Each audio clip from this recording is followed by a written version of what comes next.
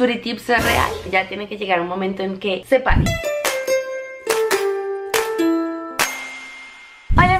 ¿Cómo están todos el día de hoy? Yo soy Pau. Por si son nuevos en el canal, los invito a suscribirse en la parte de abajo y activar las notificaciones para que sean los primeros en ver todos los videos nuevos. Bueno, amores míos, como pueden leer aquí en el título de este video, hoy los tengo congregados acá porque por fin voy a responder preguntas que he evadido. Este video lo estoy haciendo porque lo vi en el canal de Calle Poche y pues me pareció buenísimo. Yo dije, yo también lo quiero hacer. Y entonces les pregunté en Facebook y en Twitter. Si todavía no me siguen por ahí, los invito a seguirme en Facebook y en Twitter. Que me mandaran todas sus preguntas con el hashtag Pau responde. Y yo creo que si no iba de preguntas es porque precisamente le incomodan, no quiere responder o sencillamente no le interesa. Y pues vamos a ver qué me pregunta. La primera pregunta que veo por acá es en Twitter y la hace Calle Poche y dice ¿Quiénes son tus mejores amigas? Pau responde. Mis amores, como ustedes saben, en YouTube yo me la llevo súper súper súper bien con Calle Poche. Creo que desde el primer momento que nos conocimos hicimos click porque tenemos muchas cosas en común. Yo las quiero muchísimo, son niñas muy especiales, muy sinceras, muy transparentes. Entonces de YouTube definitivamente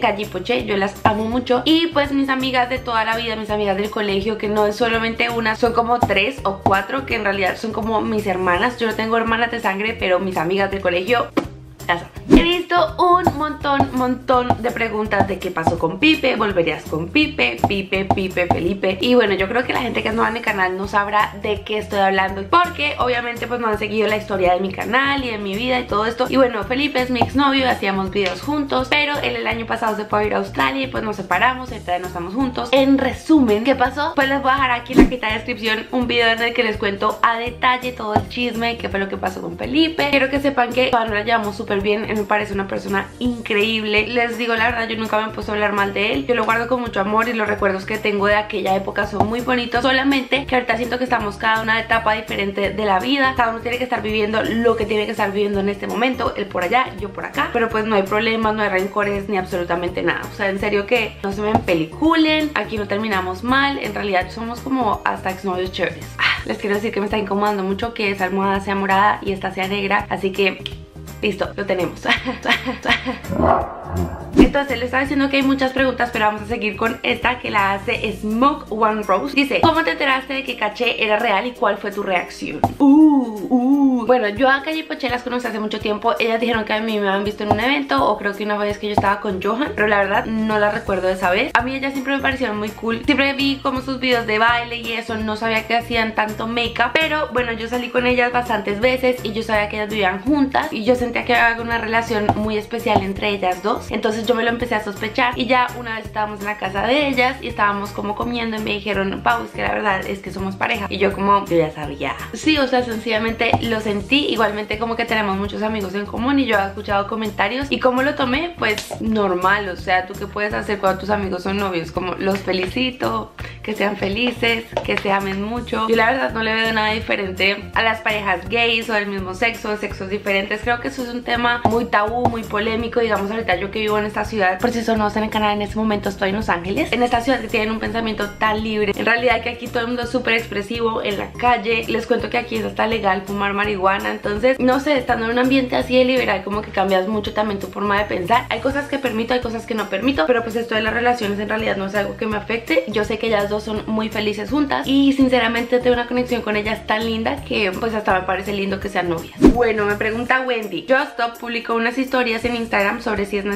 enseñar para verte sexy. Todos pensaron y dieron por hecho que hablaba de ti. ¿Qué opinas de todo eso? Bueno, resulta que cuando yo estaba en el viaje este de Bora Bora, un día estaba jugando con mi mamá y entonces le dije, vamos a quitar el brasier y tengo dos cocos y hagamos de cuenta qué lindos mis cocos o queríamos hacer una broma así como de los cocos tapándome los senos. Y después subí esa foto y creo que fue polémica, mucha gente le gustó, mucha gente no le gustó, y vean, la verdad es que yo tengo un pensamiento súper raro. Todas las mujeres tenemos sed, todos los hombres tienen tetillas. Lo veo como una parte del cuerpo X. Yo no sé por qué todo el mundo le tiene tanto tabú a los senos o a la cola. Bueno, cola en Colombia el trasero, la pompis. No sé, y por qué si un hombre sale sin camiseta es normal y si una mujer sale mostrando un poco de escote, todo el mundo se escandaliza. O sea, como que calmémonos todos. Hay veces que le ponemos tanta atención y tanto problema a cosas tan insignificantes como el cuerpo. Y el hecho de que yo haya posteado esa foto no quiere decir que quiera ser sexy. Probablemente quise haber sido chistosa o quise ser ordinaria o quise ser yo sencillamente o simplemente no me importa el que dirán. O sea, no es porque, oh sí, mírame los senos, ven a mí,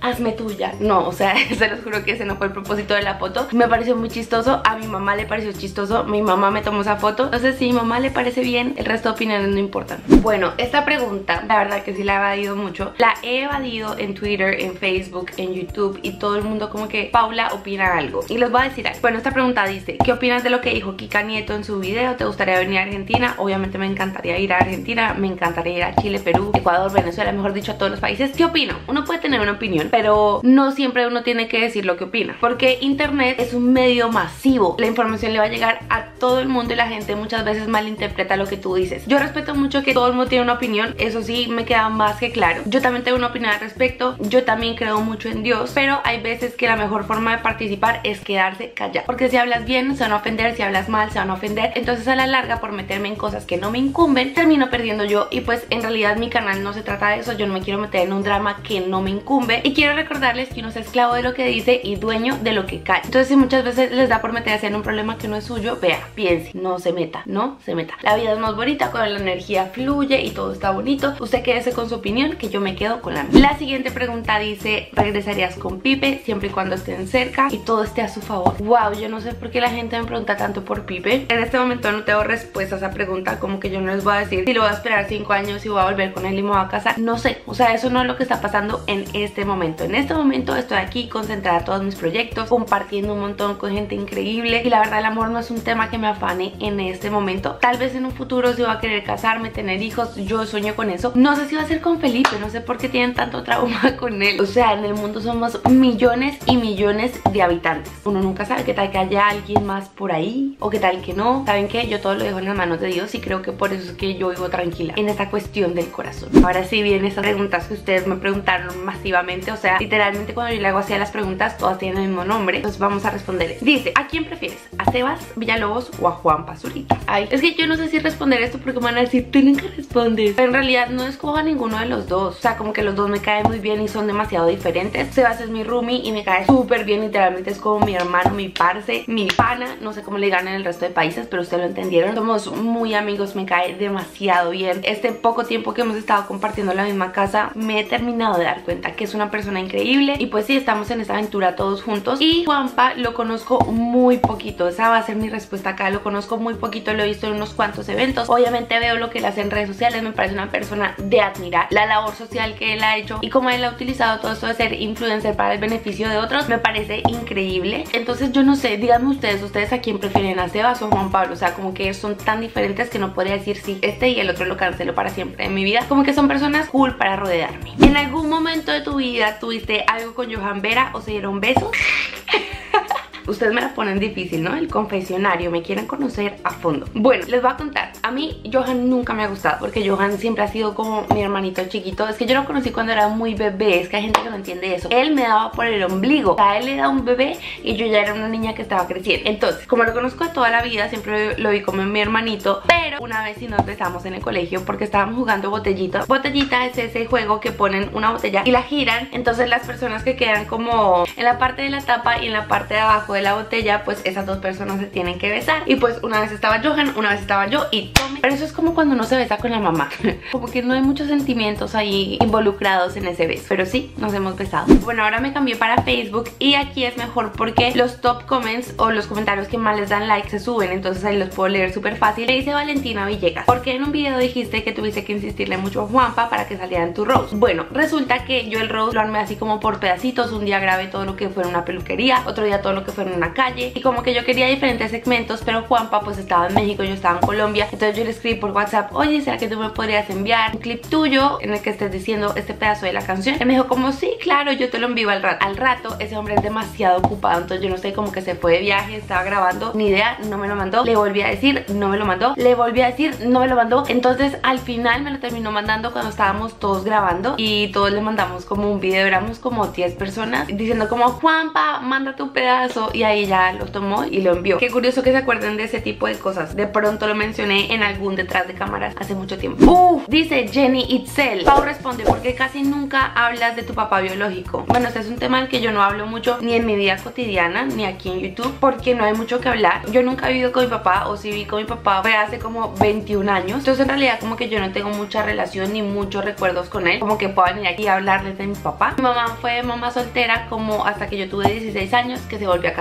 y tuvieron a mi hermano. Entonces a veces que yo digo papá o algo así en videos o en historias, me estoy refiriendo al nuevo esposo de mi mamá. Lo digo porque son un poco cansados siempre decir como el esposo de mi mamá, el papá de mi hermano. Entonces yo simplemente digo el papá y ya la gente entiende. Y pues nada, pues yo les he contado muchas veces que mi papá vive en París, en Francia, desde hace muchos años. Él es abogado y no sé qué más quieren saber de mi papá biológico. Juliana Gómez, Pau responde, yo sé que el tema político no debería ser muy tocado por parte de los youtubers, pero me gustaría saber qué piensas tú del panorama del país en este momento, ya que se vienen las elecciones presidenciales. Este tema sí lo quería tocar porque yo sé que estoy lejos del país, pero esto no significa que yo no sea parte como de lo que está pasando ahorita. Y yo sé que nosotros los influenciadores tenemos una voz que impacta, una voz que es escuchada por las generaciones más jóvenes y quería invitarlos a todos a votar. Yo no estoy muy enterada sobre los candidatos que están ahorita a la presidencia y todo eso, creo que eso es como trabajo de cada uno que se ponga a investigar y voten según sus ideales, pero sí es importante que todos nosotros los jóvenes estemos como involucrados en todo esto de quién nos representa, quién lleva al país, entonces los invito a votar, así estén por fuera, así estén dentro del país, si están por fuera pueden ir al consulado, si están dentro del país pues vayan a inscribir su cédula y no les toma sino una sola mañana, van y votan y son parte de las decisiones que se toman y del futuro de nuestro país, entonces los invito a votar. Dice Valentina Villegas, Suritips es real. Este ha sido un tema como que ya me sabe a Poppy. A ver, vamos a hablar ustedes y yo de este tema porque ya tiene que llegar un momento en que se pare. Bueno, en realidad este tema de Suritips empezó siendo una broma porque hace como dos años fuimos a YouTube Pro Weekend México y yo vi a Juanpa, yo lo había visto como en algunos videos chistosos pero nunca lo había visto de frente y como el propósito de este viaje era hacer colaboraciones pues yo le dije que hiciéramos una colaboración que tenía que ver con maquillaje. El video terminó siendo muy chistoso porque literalmente me destruyó todo el maquillaje y de ahí se dio esa palabra de Suritips. Fue una broma, una broma totalmente, pero yo no sé por qué mucha gente lo tomó muy a pecho, pero cuando les digo muy a pecho es muy a pecho.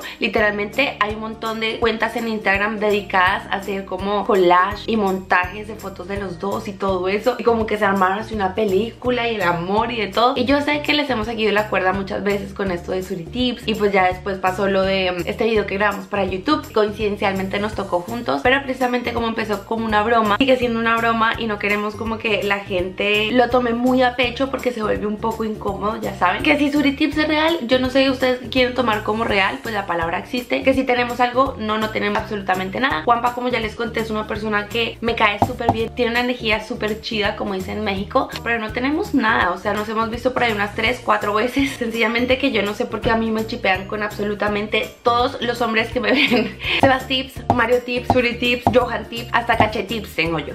Y bueno, mis amores, creo que así terminamos este video de preguntas que he evadido. Preguntas un poco incómodas, preguntas que sencillamente no quería sentarme aquí a explicar. Pero bueno, yo creo que salió bastante decente. Espero que les haya gustado. Si les gustó, recuerden dejarme un like. Se los agradecería con todo mi corazón. Y recuerden seguirme en mi canal de vlogs y en mi canal en inglés, que ya me voy a poner muy juiciosa a hacer más videos en inglés si ustedes de pronto quieren practicar el idioma. Pero muchas gracias por todo el apoyo. Y no siendo más, nos vemos a la próxima. Bye!